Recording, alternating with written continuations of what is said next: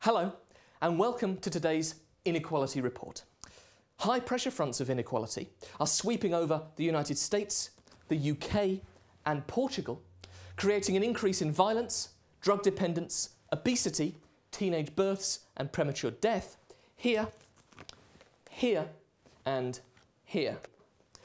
Meanwhile, Scandinavia and uh, Japan are uh, experiencing a sustained jet stream of equality, causing thermal pockets of trust, social mobility, and better health to spring up throughout. Looking ahead to the next few years now, this prevailing wind of fairness will hopefully sustain itself right across the country and indeed throughout the world, uh, dispersing the dark clouds of inequality and bringing in a brighter period of sustained well-being.